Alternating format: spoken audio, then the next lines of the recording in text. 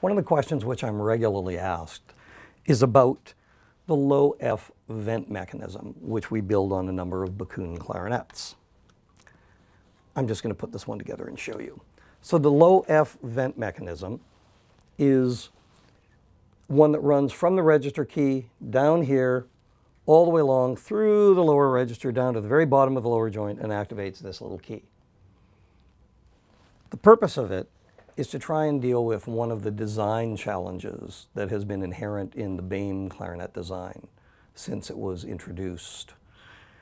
The low F is normally very flat, and the C, the 12th above, is normally very sharp. What this key does is it gives us the complete control of each one to tune or voice either of those notes. But for many of you who are working on the instrument, this will at first be unfamiliar. So just a couple of tricks. Number one, when you put it together, just line up the normal bridge key as a starting point. That's something you have to do on every clarinet, so you and your clients are going to be completely comfortable with it. Then when you flip it around, you should notice that the second bridge is basically in alignment. So here is the fundamental trick that you need to know.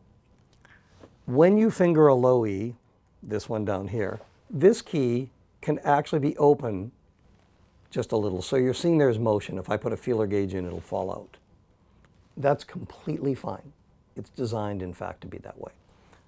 But when we press on the register key, which is almost two feet away, this key closes and that one has to close. Really, really important. If you don't, the upper register will be sharp.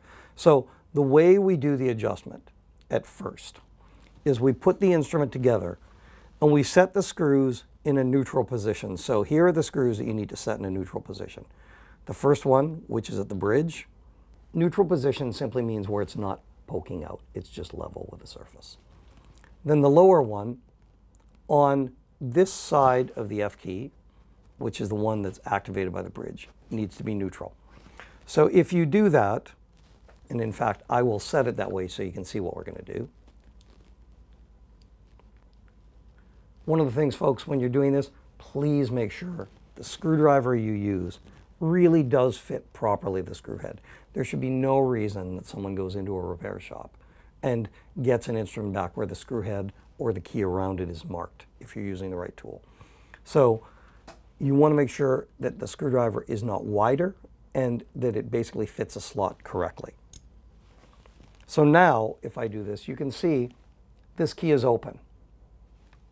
So that would not work correctly. The very simple way that we would repair that, or adjust it in this case, is to turn this screw, which is the one for the vent, down. I always try and use the screw, I visualize a clock. So I start with it at the 12, uh, 12 o'clock position, and then I'll move it by half, so 12 to 6.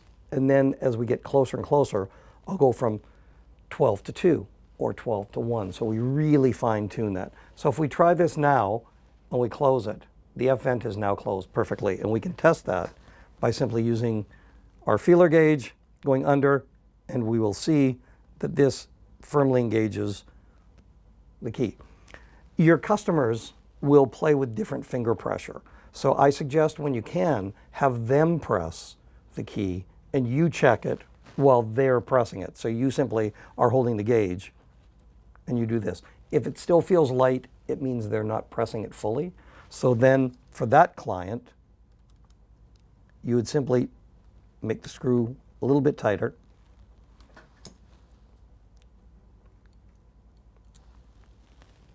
And you can see that the feeler gauge will hold.